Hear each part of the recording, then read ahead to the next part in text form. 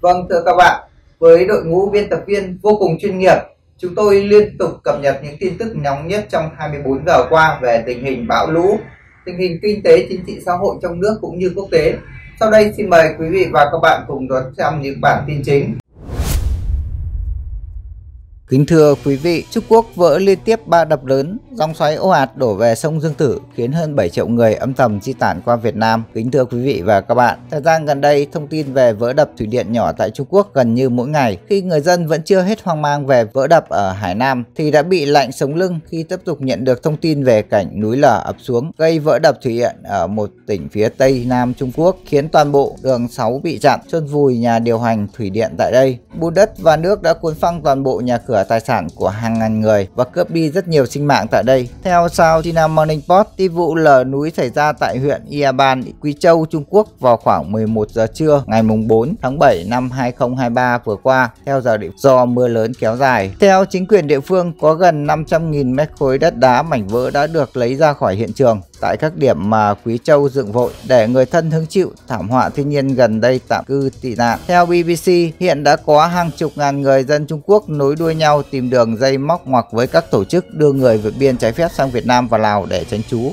Điều đặc biệt mà các phóng viên ghi nhận là không có bất kỳ một người nào khóc lóc than thân trách phận vì mất người thân, mất nhà, mất tài sản. Họ mệt mỏi bàng hoàng nhưng tất cả đều giữ trong lòng vì họ đã quá quen với cảnh tượng đau lòng này và chấp nhận sống chung với thiên tai dài. Nhìn hình ảnh họ xếp hàng chia nhau khẩu phần ăn, chia ca khám bệnh khiến ai cũng xót thương. Anh Ngô, một người dân Bộc Bạch, chúng tôi phải vực dậy tinh thần để tái thiết cuộc sống. Đau buồn bây giờ cũng không được lợi ích gì. Đoạn video ghi lại cảnh tượng kinh hoàng này có thấy khối lượng đất đá và cây cối từ một sườn núi đổ ập xuống chắn ngang một con đường và nhìn thấy người gần đó đang tháo chạy khi núi lở. Một số túp lều nhỏ ven đường cũng bị trôn vùi. Vụ lở khiến con đập trên sông Guanyao bị vỡ và gây mất điện ở trạm thủy điện Basi. Theo đài quan sát Quý Châu, ngoài hàng chục chiếc ô tô đậu gần nhà máy điện cũng bị cuốn xuống sông. Phòng điều hành của trạm thủy điện cũng bị phá hủy hoàn toàn. Hiện vẫn chưa biết chính xác số người thương vong là bao nhiêu. Cũng theo ống kính của Reuters, hàng hóa viện trợ chủ yếu là của quốc tế đưa về cho người dân lánh nạn, phân phát rất đều,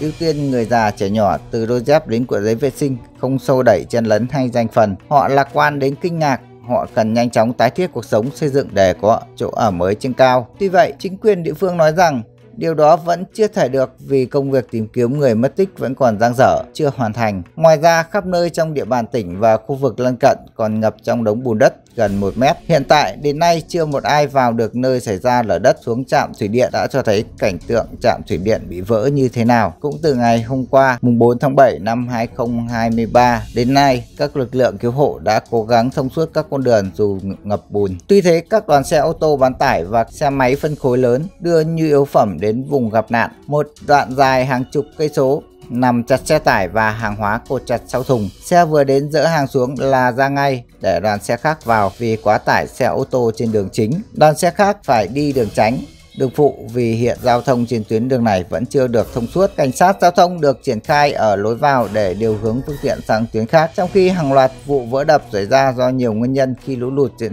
biến không ngừng tại Trung Quốc. Hơn một hơn 1,63 triệu người ở 7 tỉnh thành và khu vực Chiết Giang, Giang Tây, Hồ Nam, Quảng Tây, Trùng Khánh, Tứ Xuyên và Quý Châu đã bị ảnh hưởng bởi mưa bão, ít nhất 169 người chết. Lượng mưa trung bình ở các khu vực ảnh hưởng trong tuần này ghi nhận cao hơn 51% so với cùng kỳ các nước trước và là lượng mưa lớn nhất kể từ năm 1961. Mưa bão dữ dội ở miền Nam, miền Đông Trung Quốc trong tháng này đã phá hủy nhà cửa, mùa màng, buộc Trung Quốc phải sơ tán gần 80.000 người. Theo truyền thông nhà nước, đợt mưa bão mới nhất gây tổn thất 2,69 tỷ nhân dân tệ với 126.000 hecta đất nông nghiệp bị tổn hại và 1.600 ngôi nhà bị đổ sập. Kính thưa quý vị khán giả, vào chiều ngày hôm qua, mùng 4 tháng 7 năm 2023, Liên tiếp xuất hiện hai hiện tượng kỳ dị trên bầu trời Trung Quốc trong khi cư dân thành phố Ngô Trung, tỉnh Giang Tô, nước này đã khiếp sợ bỏ chạy khi trông thấy một đám mây hình người ma quái dài hơn 100 mét lơ lửng trên bầu trời suốt một giờ đồng hồ. Bầu trời tại thành phố Hải Khẩu,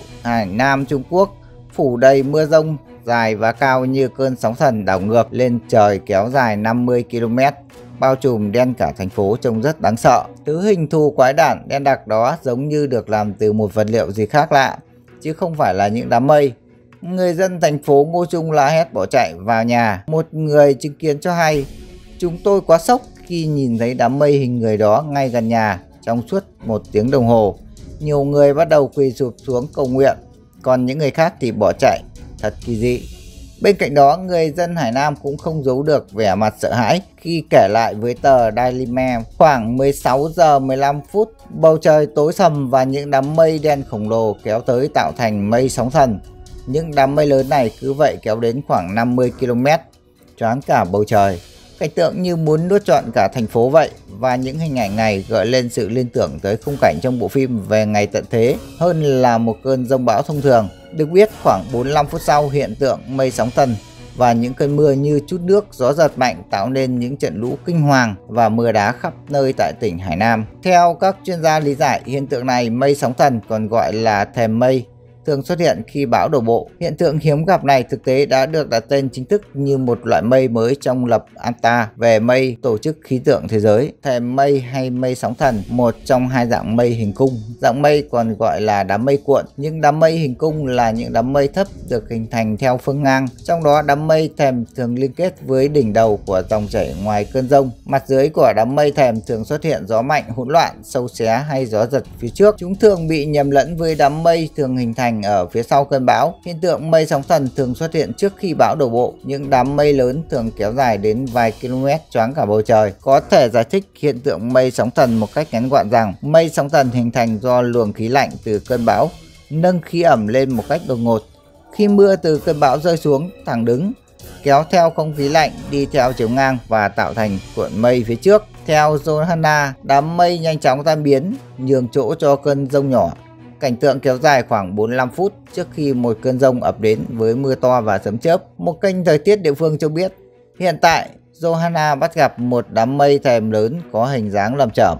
Mây thèm là đám mây cung cấp nằm ngang, có hình dạng giống như chiếc nem và thường đi kèm với rông bão.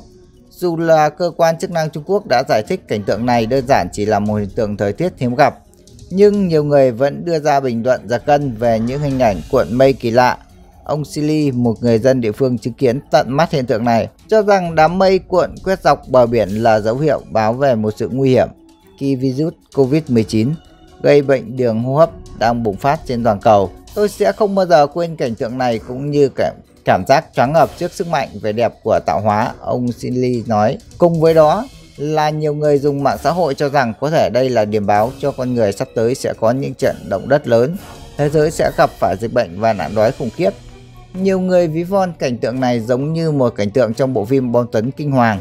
Điều này không phải là bất thường. Hiện tượng thời tiết này được gọi là mây cuộn. Nó xảy ra khi thời tiết quá mạnh, tuyết đã rơi vào sáng nay và giữa trưa ngoài trời rất đẹp. Một tài khoản cho biết giải thích về hiện tượng kỳ lạ này, một nhân viên tại cơ quan thời tiết, ông Bodhi Diaman cho biết đám mây trong bức ảnh này trông giống như một đám mây mà Matut thường có hai loại mây thèm mây cuộn. Đây là loại mây cuộn mỏng thấp thường xảy ra khi không khí không ổn định hay thời tiết của rông bão. Mây Mamamutut hình thành khi không khí lạnh đi xuống từ mây tới mặt đất. Luồng khí lạnh này nhanh chóng lan tỏa ra, không khí ấm và ẩm từ dưới mặt đất lên. Khi không khí này bốc lên, hơi nước tương tụ sẽ tạo thành những đám mây mà mà tôi Thông tin vừa rồi cũng đã khép lại bản tin của chúng tôi ngày hôm nay. Mến chúc quý vị sức khỏe, bình an. Xin đừng quên nhấn nút đăng ký, subscribe và nhấn vào chiếc chuông bên cạnh để không bỏ lỡ bất kỳ video nào từ kênh 24 giờ. Và hãy để lại ý kiến đóng góp của quý vị dưới mỗi video. Còn bây giờ, xin thân ái, chào tạm biệt và hẹn gặp lại.